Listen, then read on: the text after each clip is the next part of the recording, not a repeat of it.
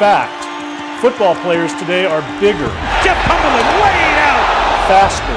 He mocked it and he got drilled. And stronger. Incomplete. And Harvin is down and hurt.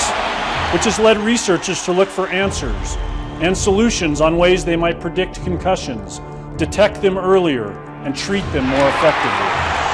And matter of fact, he can't quite make it back to the uh, sidelines, and now he falls and he's down on his back. Enter the impact sensor. Several entrepreneurs are trying to perfect devices that can help quantify blows to the head that can lead to concussions. Among those already on board is Louisiana State University, where players have been wearing impact sensors on their helmets in practice and scrimmages since last summer. You know, this is a sport where, where contact is inherent and that risk of injury is real. We have to minimize it for the sport to grow. At LSU, data from the impact sensors was downloaded after every practice and compiled in a spreadsheet. Head trainer Jack Marucci found that the players sustaining the most blows to the head weren't receivers going over the middle or linebackers making big hits. It was offensive linemen, and even their head blows varied. We also looked at, all right, why does some offensive linemen have more hits than the other? Well, maybe some of it's technique. Maybe some of the technique they had to use their hands more, but the young kids may be lunging with their head. Concussions were down at LSU in 2013, and to Miles, the answer is simple.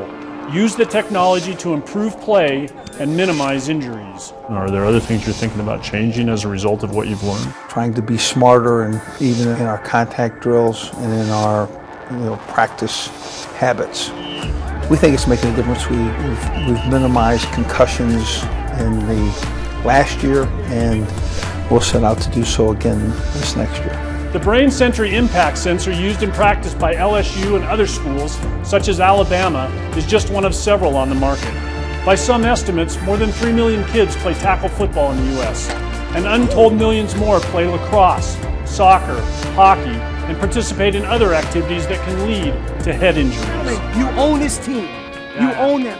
At a high school lacrosse field in Virginia, Coach Wayne Olin has the kids wearing Brain Sentry impact sensors on their practice helmets.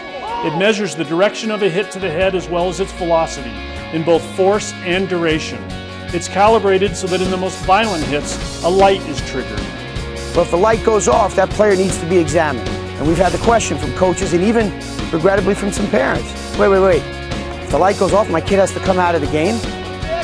So, I mean, sometimes the safety of the player isn't quite as important in places where you think it might be. Olin, who is also a consultant for Brain Sentry, imagines a day when every NFL player has an impact sensor on his helmet wired to a laptop on the sidelines, and a doctor monitoring the blows to the head long before players might otherwise be examined. There are about eight to nine leagues around the country uh, that have endorsed this. 26,000 kids are starting to look at it. We have over 4,000 kids wearing them. SEC schools, Alabama and LSU are using them in practice all the time. At the end of the day, that's really what it's about at this level, is the safety of these kids.